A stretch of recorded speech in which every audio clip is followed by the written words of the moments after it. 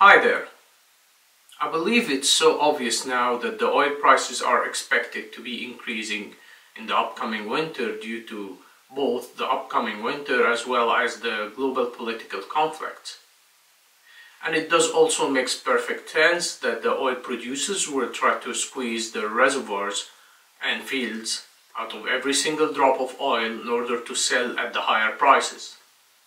But how exactly do they squeeze the reservoirs or boost their production?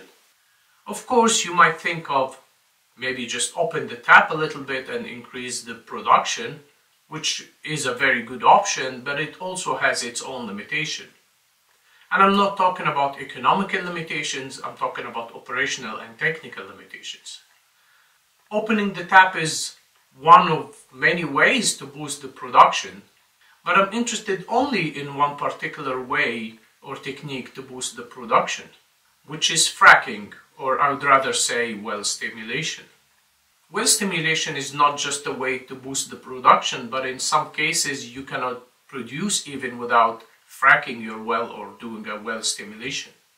My name is Amr Hassan. I am a well stimulation consultant at OptiStim and this is an introduction to our well stimulation course. But before digging in the well stimulation, I thought it would be a good idea, especially for those who doesn't know much about oil and gas science or even just fresh graduates, is to start from the basics fundamentals of oil and gas. This is why I have separated this course into two sections. The first section would be the basic fundamentals of oil and gas, while the second section will be of course the well stimulation, where I'm going to cover from basic well stimulation like matrix acidizing up to the complex hydraulic fracturing designs.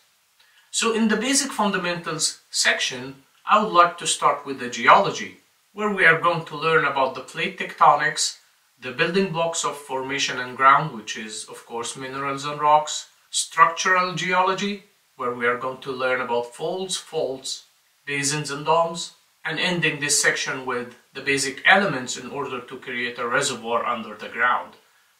After understanding the geology and understanding what makes the oil and gas reservoir under the ground, we are going to cover the exploration part.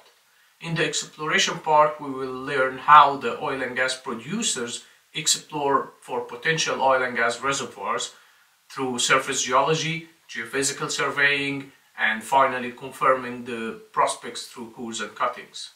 In the same part as well, we will talk about the petroleum composition and its properties according to the API standards. And we will end this part with the reservoir driving mechanisms. Now, since we know that there is a potential reservoir under the ground, we need to drill to reach to this reservoir. In the drilling section, we will be talking about the drilling rig types, the rig components, the drilling fluid.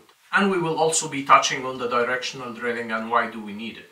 During the drilling phase, there are several operations taking place in order to keep the well stable, which is cementing and basic completion, and we will touch on those two as well. But one very important operation that happens while drilling the well and after drilling the well is the formation evaluation.